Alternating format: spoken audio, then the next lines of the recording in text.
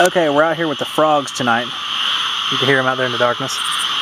Uh, had a friend of ours with no AC. In fact, Eddie, uh, this is the reason why I had to leave so abruptly. Uh, we have our liquid pressure, about 150, it's hard to see. Uh, true suction pressure, around 130 or so. Uh,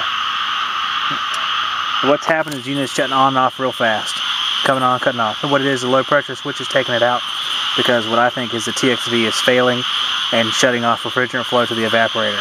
So I'm going to turn it on and you're going to see what I mean. Alright, disconnect on. So liquid pressure staying steady. Here's suction pressure, this is true suction. Bottoming out, being pumped down. Pumping down all the way. And we're going to hit the low pressure switch and then cut off. Off and on, off and on. So pull the power because we don't want that to continue. And pull the power. Suction pressure is all the way down. Of course, we're going to kind of prove it's a TXV by putting it into heat and running it that way. And here we go. Solenoid coil on the reversing valve. It's going to equalize. There's our pressure equalizing. Alright. Tuck it away there.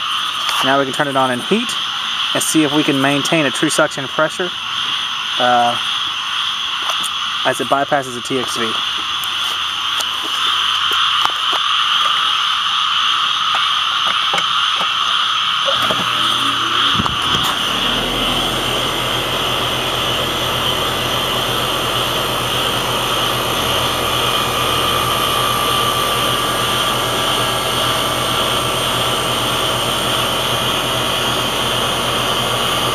We're running in heat, bypassing the TXV, and we have normal operation.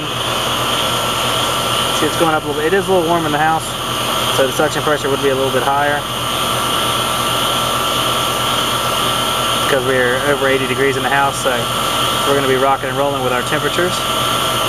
So, there we go. Hot gas in. Hot gas inside coming back out through the compressor.